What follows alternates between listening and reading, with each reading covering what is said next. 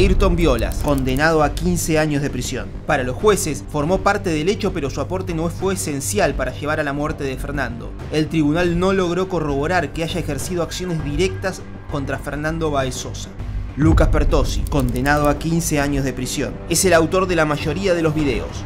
Desde que son echados del boliche, graba todo con su celular. La jueza Castro entendió que su aporte resultó secundario, advirtió que fue quien filmó el inicio del ataque, grabación que dura 7 segundos. Muchas de esas imágenes terminaron condenando al grupo.